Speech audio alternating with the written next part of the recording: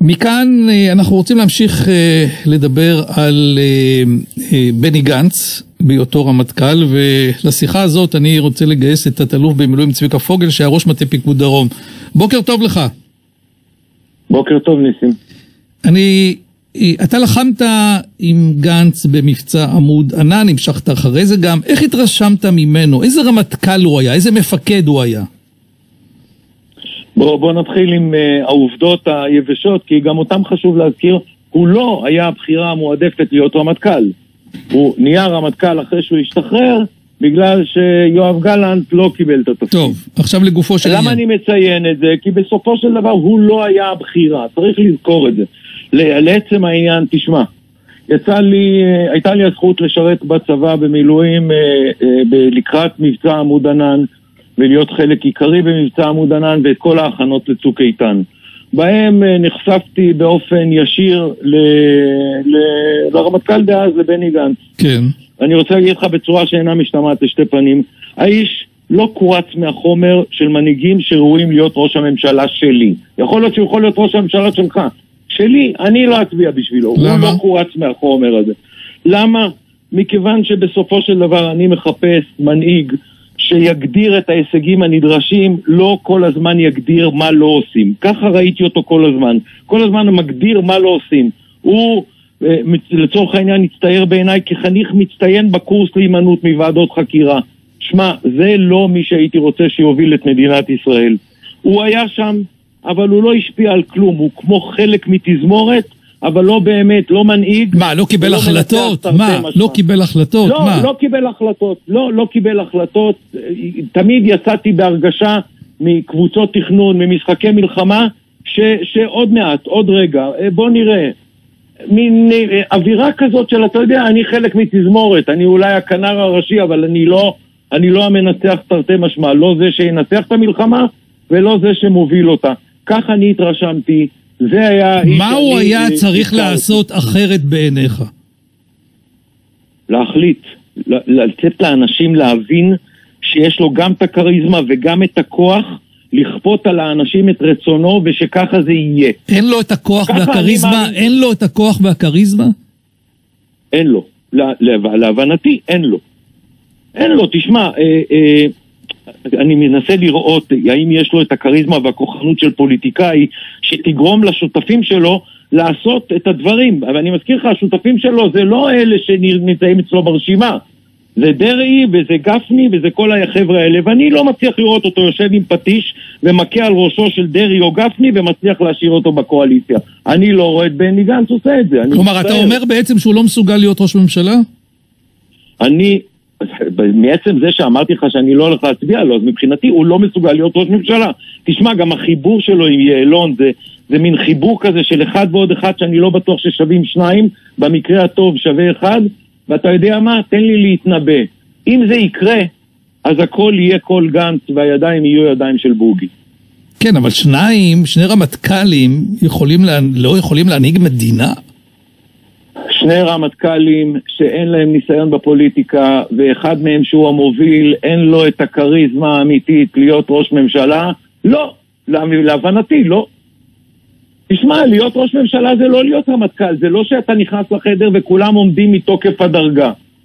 פה יש קואליציות, פה יש כוחנות, פה יש אינטרסים, פה יש אגו, את זה אין בצבא. בצבא יש דרגה, אתה רואה את הדרגה של זה שמעליך, וככה אתה מתייחס לעניין. ואני אומר לך שגם שם לא הרגשתי חוץ מזה שהוא היה נקרא רמטכ"ל ועם דרגות רב אלוף על הכתף, לא הרגשתי שמולי עומד מישהו שבאמת יש לו את המעוף והיוזמה והיצירתיות והכוח לעמוד מולי ולהגיד לי ככה אני רוצה שזה ייראה. אלה ההישגים הנדרשים, ככה מנצחים. את זה לא שמעתי, זה איש שאני לא רוצה שיהיה ראש, ראש הממשלה שלי. אתה, אני, אני, רוצה רגע, אני רוצה רגע להשמיע לך אינסרט שבו איך ראש הממשלה ראה את גנץ כרמטכ"ל. בוא תשמע איתי. דני, אני רוצה להודות לך על שנים ארוכות של שירות למען ביטחון המדינה, במיוחד לארבע השנים האחרונות שהובלת את צה"ל כרמטכ"ל. ארבע שנים מאתגרות בצורה בלתי רגילה, בתקופה של טלטלה אזורית שלא הייתה כדוגמתה. בזמן הזה אתה הובלת פעולות של צה"ל, גלויות, וחשאיות, מקרוב ומרחוק, בצורה מקצועית, נחושה, אחראית. אני רוצה להודות לך על השירות המעולה הזה. אני יודע שאתה משאיר אה, צבא שיכול לכל האתגרים הללו, והצבא שהשארת יכול להם. שמעת? שמעת את התת-אלוף במילואים צביקה פוגל? שמעת מה אומר ראש הממשלה? קודם כל, מה אתה רוצה שהוא יגיד לרמטכ"ל שנסיים את התפקיד? אני לא הייתי מסיים את התפקיד שלו אחרת. הייתי אומר את אותו דבר.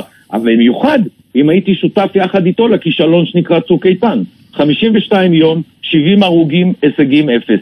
עזוב, יושב מולנו אויב שמחכך את ידיו בהנאה ואומר לעצמו, כל הצבא הגדול הזה, עם כל מה שיש לו, לא הצליח להכריע אותנו.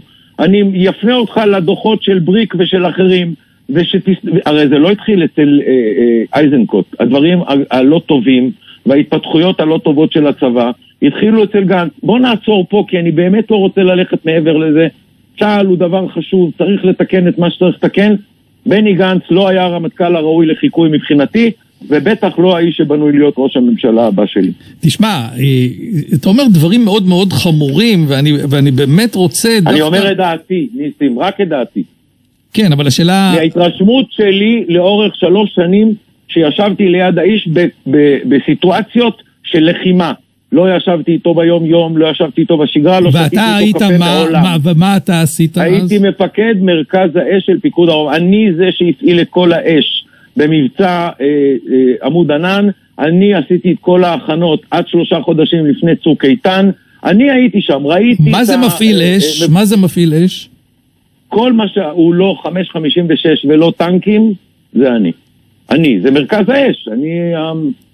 ואם, ואם, ואם היה לך הדבר. אפשרות לנהל את המבצע הזה אה, ש, שאתה מדבר עליו צוק איתן, אז היית, מה היית עושה אחרת? כל המבצע הזה היה נראה אחרת. הוא היה מסתיים בזה שהחמאס היה מניף דגל לבן ויושב ליד שולחן המשא ומתן כשהוא מוכרע. ואנחנו כבר מקיימים דו-קיום של אה, חיים נורמליים משני צידי הגבול כבר מזמן. איך? באמצעות הרס, נצטרך- הרס וחורבן היה מביא לא, את ה... הרס וחורבן עשה בני גנץ. אני הייתי הורג את מי שצריך. תסתכל על מילות הפתיחה של כוכבי בכניסתו לתפקיד. הוא הולך להקדיש את מירב מרצו וכוחו כדי לשפר את הפגיעה באויב. כי עד היום פגענו בבית של האויב ולא באויב. והגיע הזמן שנתחיל לעשות את זה, ובני גנץ לא עשה את זה. הרס נהדר, עזה הרוסה, הוא יודע להרוס. אני לא בטוח שהוא יודע לבנות. ואתה היית הולך יותר על חיסולים ממוקדים אישיים, אם אני מבין מה שאתה אומר. בוודאי, בוודאי, חיסולים ממוקדים, הגעה לבתיהם של כל המפקדים. תשמע, לא יכול להיות שאנחנו יודעים להגיע לטהרן, להביא משם את הארכיון, יודעים להגיע לאנטבה לשחרר פצועים, אה, אה, אה, אה, חטופים, ואנחנו לא יודעים להגיע לאסמאעיל הנייה ולאחמד סינואר ולשים להם כדור בראש. לא תצליח לשכנע אותי שאנחנו לא יודעים. יכולים להגיע, אבל מבחינה פוליטית מדינית לא רצו. אבל נתנו לך 52 יום, העולם נתן לך 52 יום לנצח. מה עשית? לא עשית כלום. אז אני לא מפנה את האשמה רק לבני, כי גם שם היה ביבי לא מעט באשמה. אבל כשהרמטכ"ל לא מוכן לקחת סיכונים, כשלרמטכ"ל אין יוזמה, כשהרמטכ"ל הוא אה, מומחה לחניך מצטיין בהימנעות מוועדות חקירה, אז אנחנו עושים מלחמה של תיקו. תיקו לא עובד במזרח התיכון. אתה רוצה לשרוד, אתה צריך להיות המנצח. ומזמן לא ניצחנו. דברים קשים מאוד, אתה אומר, אה, תת-אלוף צביקה פוגל, ראש מטה פיקוד... אה, אה, ניסים, אני מודה לך על ההזדמנות שנותן לי לומר את דעתי, זו דעתי בלבד. ככה אני ראיתי את הדברים. אני שומע את הקולות של אחרים שהיו יותר צמודים אליו ומנסים לדבר אליו בעדינות, אה, מאלופים שהיו בצבא וכאלה שהיו כמעט רמטכ"לים ואחרים, ואני אומר לך, תקשיבו לנו, בדיוק כמו שאני אומר, תקשיבו גם קצת לבריק. כן, לא, זה דברים קשים. שאני לוקח מכל זה, זה שהוא לא מסוגל להיות ראש ממשלה. לא, הוא לא מסוגל. טוב, תודה רבה, תת-אלוף במילואים צביקה פוגל, ראש מטה פיקוד רק. בשורות טובות, אמן. שיהיה לנו סוף שבוע נפלא.